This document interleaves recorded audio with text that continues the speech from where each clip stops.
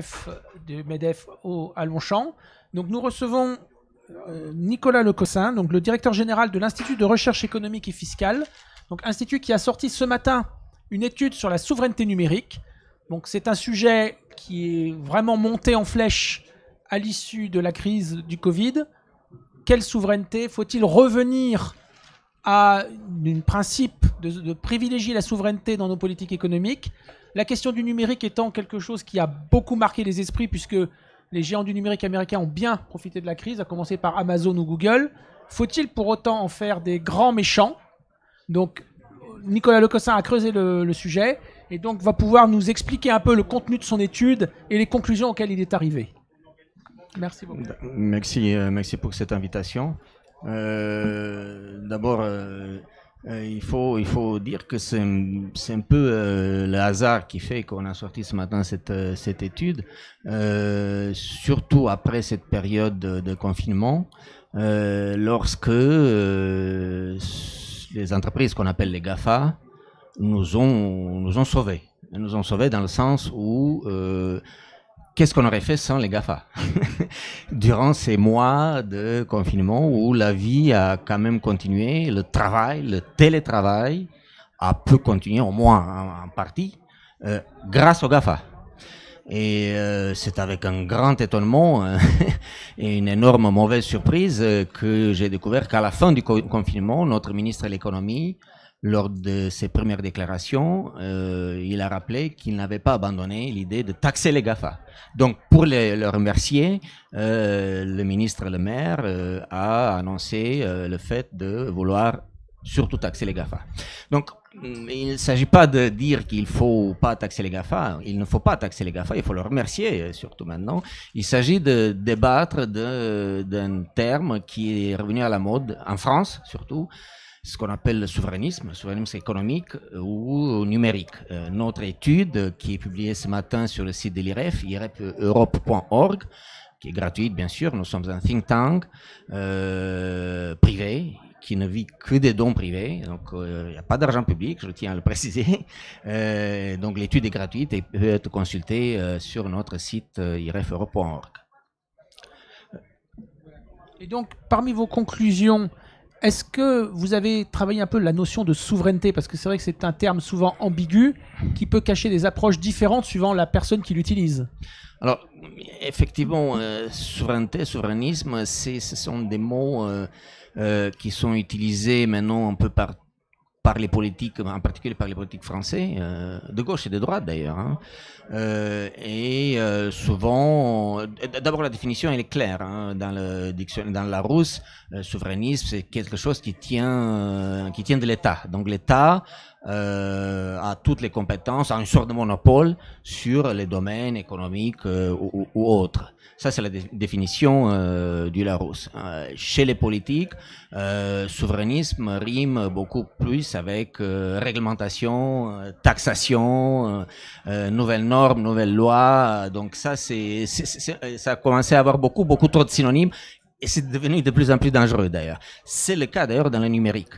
Euh, c'est ce qu'on essaie de montrer dans cette étude, euh, en faisant surtout un, un rappel des, euh, des autres, des anciennes tentatives de l'État français, mais aussi de l'Europe, de créer des, des grandes entreprises du numérique, justement pour contrebalancer les, les entreprises américaines, avec les échecs que l'on connaît ou que vous pouvez apprendre en lisant notre, notre étude. N'y a-t-il pas justement un risque avec cette mise en avant du souverainisme que ça dérive sur tout simplement du protectionnisme, c'est-à-dire des entreprises françaises qui profitent de, ce, de, cette vague politique pour essayer de se donner des avantages compétitifs par rapport à leurs concurrents étrangers? Alors c'est un autre synonyme effectivement presque du, du souverainisme, c'est le protectionnisme. Euh, on, on croient, enfin les politiques, mais pas seulement les politiques malheureusement, parce qu'en euh, faisant ces études, euh, on a rencontré euh, pas mal de chefs d'entreprise français qui, pas tous hein, heureusement, qui souhaitent une, sorte, une forme de, de, protectionnisme et aussi des aides de l'État pour pouvoir développer leur, leur entreprise afin de concurrencer, ou en tout cas essayer de concurrencer les géants du, du numérique le protectionnisme n'a jamais mené à, des succès économiques. Euh, sinon, on le saurait, toute l'histoire avant le XXe siècle serait, serait que des succès économiques grâce au protectionnisme. C'est le libre-échange, ce sont les échanges économiques, c'est la concurrence, qui a poussé justement euh, euh, l'essor de ces géants du numérique. Mais j'aimerais insister sur une autre chose, pas seulement sur le protection, sur le fait que on ne peut pas anticiper euh, les succès du numérique. Et dans le, dans le cadre de, ce qu'on appelle en France le souverainisme numérique, les politiques croient, et l'État croit, anticiper les changements et l'évolution du numérique. Mais on ne le sait pas ce sont les individus qui le savent. C'est l'innovation, ce sont eux qui crèvent. On ne savait pas que euh, Google allait, allait être inventé. Personne ne le savait. Je rappelle que dans les années 90, euh, on pensait toujours que Minitel allait être l'avenir euh, du numérique. On voit ce qui s'est passé. Donc, quelque part, la, le, la souveraineté numérique au niveau économique serait pour vous un petit peu compliqué à mener au niveau français. Mais qu'en est-il au niveau européen? Est-ce que vous voyez également des velléités de cette politique française en Europe ou est-ce que nos, voisins européens sont un peu plus raisonnables sur cet aspect? Alors, je vais vous donner un exemple concret parce que notre think tank est, euh, européen.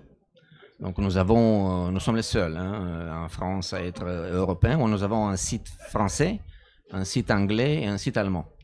Donc je travaille avec les Allemands et je vois un peu leur pragmatisme et leur euh, euh, tendance à euh, faire plus confiance à la concurrence et à l'initiative individuelle que les Français. Lorsqu'on aborde ces sujets du numérique, ils sont, ils sont, c'est très clair pour eux. Ce qu'il faut encourager, c'est la liberté d'entreprendre, moins de taxes, moins de réglementation, justement pour faire émerger de euh, de nouvelles entreprises dans, ce secteur-là. Il n'y a, pas à discuter. Donc c'est pour ça que d'ailleurs le président Macron euh, a plutôt échoué quand elle a demandé à, Angela Merkel euh, une forme de taxation du numérique. Bruno Le Maire l'a fait aussi. Alors maintenant, au niveau européen, on parle de, il y a le terme harmonisation qui me fait aussi peur, qui est aussi lié au, souverainisme, parce qu'une harmonisation, euh, harmoniser les taxes et les réglementations comme en Irlande, oui, je veux bien, mais pas comme en France pour tout le monde. Donc, ça voudrait dire que tout le monde va payer des taxes et des, impôts comme en France. Non, pas d'harmonisation, il vaut mieux concurrence fiscale, concurrence au niveau des réglementations et euh, encouragement euh, de la liberté de créer d'autres, d'autres géants du numérique. Donc, c'est ça ce qu'il faudrait faire. Mais il y a aussi un enjeu de protection de nos entreprises et quelque part le gouvernement cherche à protéger un peu les entreprises françaises de rachat de sociétés étrangères. Est-ce que vous pensez que dans un certain nombre de cas, c'est justifié de, garder les savoir-faire au niveau national plutôt que de les voir rachetés par euh, les, États-Unis ou par la Chine? Alors, si euh, une entreprise est rachetée par euh, un géant comme Google ou autre, c'est qu'elle était, elle était une bonne entreprise. Google n'achète pas quelque chose qui est mauvais euh, ou autre. Euh, alors, il y, a un problème un peu à part de la Chine. C'est la Chine est un peu à part parce que euh, effectivement, on sait très bien et on connaît des chefs d'entreprise qui, qui, travaillent avec la Chine ou qui ont travaillé. il y a, ils pratiquent des, ils font, ils ont des pratiques un peu bizarres comme le vol des brevets, comme l'assimilation des entreprises sur le plan local. Ça, c'est autre chose. Ça, il faut le condamner. Euh, il faut le vérifier et il faut collaborer seulement si on, a, on est sûr de pouvoir travailler en toute euh, transparence et en, respectant les formes de concurrence et de, euh, de, liberté. Donc la Chine est un cas à part. Pour le reste, une grande entreprise achète des petites entreprises parce qu'elles sont euh, bonnes parce qu'ils ils ont de bons résultats et aussi pour s'agrandir. Et puis beaucoup d'entreprises, de petites entreprises ont été rachetées et sont développées par la suite. Donc euh, les, euh, le fait d'être racheté ne peut pas être mauvais en soi. il y a eu également une politique menée depuis une dizaine d'années en Europe qui a abouti au règlement général de protection des données, qui est quelque part une autre forme de protectionnisme par la norme. Est-ce que vous pensez que euh, c'est une façon de travailler qui peut être plus efficace vis-à-vis des, géants américains? Alors, euh, la protection des données, ça fait partie, on en parle dans notre étude, c'est aussi la tarte à la crème des, politiques français. On nous dit, euh, ben, il faut, il faut qu'on protège vos données. Euh, en fait, moi, je, moi, je veux surtout pas que l'État protège mes données. je, me méfie de l'État comme de la peste. C'est pas, pas l'État de protéger nos données. Ce sont les entreprises, ce sont les gens qui doivent euh, s'occuper de leurs propres données. Donc, nous, ce qu'on propose à, l'IREF, c'est que euh, les gens soient responsables. C'est-à-dire, les données ils sont libres de les donner s'ils veulent les donner. Ce n'est pas à l'État de réglementer cela, ce n'est pas aux lois, ce n'est pas aux politiques, surtout pas. Euh, c'est à eux de s'en occuper. S'ils veulent les donner, ils le donnent, sinon, euh, tant pis.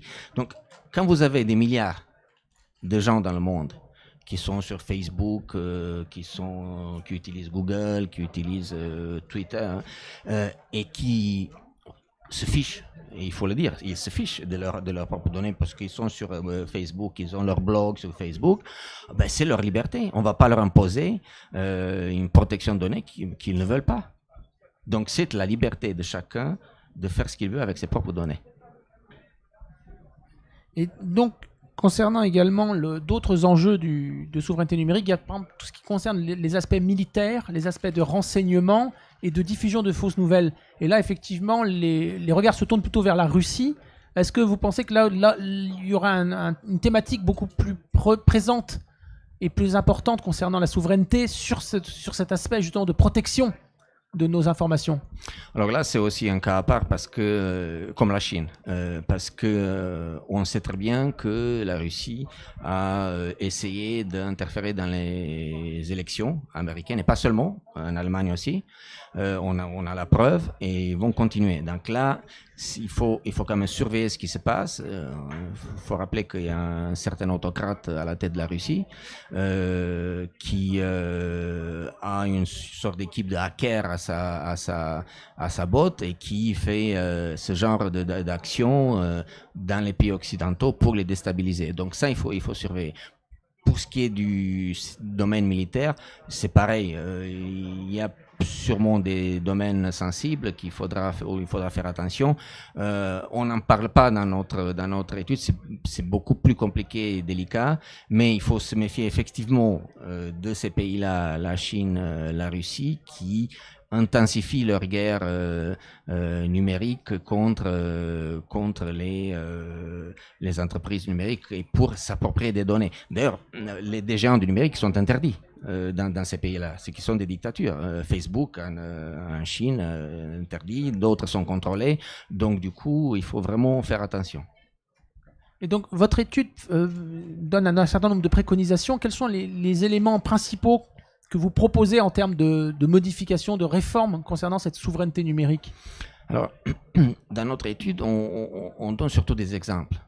Et euh, même si le terme de souverainisme euh, numérique, euh, souveraineté numérique est assez récent, une dizaine d'années à peu près, il y, a, il, y a, eu déjà des tentatives anciennes. je parle plus seulement des Minitel. Hein. il y en a d'autres. Je sais que ça fait rire à chaque fois, mais c'est toujours une blague qui marche. Mais il y, a, eu Kero, il y a, en ce moment, il y a Quant. Il faut pas oublier, Quant, c'est un, échec terrible. C'est un échec terrible. Il y a eu des dizaines de millions d'euros qui ont été injectés euh, à travers la caisse des dépôts et ça continue. Euh, il y a eu euh, des clouds numériques, il y a eu Andromède. Donc vous trouvez tous ces, tous les descriptions de ces échecs. C'est à travers les échecs qu'on apprend. Donc les échecs ont été nombreux, français ou même franco-européens. Euh, donc le fait d'essayer de, créer des, euh, artificiellement des concurrents à des géants numériques qui sont développés grâce à des génies euh, comme Google, comme Facebook, comme Twitter, ça ne marche pas. Ce n'est pas l'État de de le, faire, ce n'est pas l'État de décider, l'État ne sait pas le faire, et encore moins les, les politiques. Donc nos préconisations sont les suivantes le souverainisme économique ou le numérique devrait être synonyme de liberté d'entreprendre, de moins de réglementation, de capacité d'innover. L'innovation, les Français sont très bons. Il faut les laisser innover. Il ne faut pas les taxer dès qu'ils créent une petite entreprise. Il faut justement leur donner la liberté, non pas les euh, menacer avec des, taxes ou de taxer les Gafa. Pour, euh, c'est pas en taxant les, les Gafa qu'il y aura un Google en France. c'est pas comme ça. Donc donner la liberté, pour euh, créer d'autres euh, géants du numérique. Euh, c'est l'innovation et ce sont les individus qui peuvent le faire. Y a-t-il des questions concernant, de la part de ceux qui nous suivent en ligne? Non.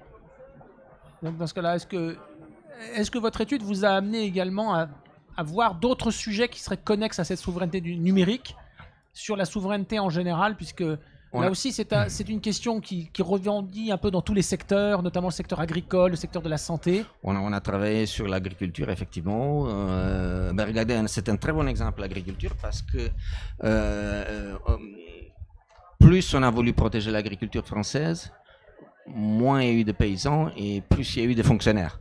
Donc, on va faire la même chose avec le numérique. Plus on va faire du souverainisme numérique, euh, et plus il y aura des fonctionnaires et des administrations et moins de géants du numérique en France. J'en suis certain, je suis prêt à parier. Euh, l'industrie, c'est pareil. On a publié une étude euh, l'année passée sur l'industrie et on a montré qu'il n'y avait aucune corrélation entre le recul de l'industrie française et la hausse du chômage. Euh, non, euh, la hausse du chômage est due à plein de facteurs. Et donc, si on veut créer plus d'emplois, ce n'est pas en essayant de revigorer artificiellement l'industrie française, mais en donnant la possibilité de créer d'autres entreprises, d'autres sociétés pour créer des emplois. Donc, on ne ressuscite pas des morts, on, donne naissance à des, à des nouvelles, euh, à des nouveaux secteurs, à des nouvelles entreprises. Vous vous sentez écouté en ce moment ou pas vraiment Ou il y a quand même de l'espoir ah bah, euh, moi, je, pensais que cette, euh, cette période du Covid allait euh, être une leçon pour nos politiques. Ça n'a pas été le cas. Comme je le disais au début avec Bruno Le Maire, la première chose qu'il dit, c'est taxer les GAFA, alors que c'est les GAFA qui nous ont sauvés. donc, ça n'a pas été une leçon. Euh, et c'est d'autant plus étonnant que l'État a échoué. la période, de, la pandémie a été la preuve de l'échec de l'État dans sa réaction, dans le fait d'avoir, dans la façon dont il a agi, dans la pénurie de masques, de, de gel. Euh, et ce sont surtout les entreprises du privé qui ont répondu présent. C'est le privé qui était là. C'était les GAFA, c'est aussi le privé, l'alimentation et tout le secteur privé qui a fonctionné correctement. Donc les politiques ont dû comprendre que l'État a échoué, c'est le privé qui a réussi. Donc pour que l'État réussisse, il faudrait qu'il prenne l'exemple sur le privé. Eh ben, merci beaucoup pour cette conclusion, Nicolas Lecossin. Et merci à vous à tous. Donc prochaine conférence à 16h sur justement la, la réindustrialisation de la France avec Léa Charpentier et Guillaume Casbarian. Donc à tout à l'heure pour cette nouvelle conférence.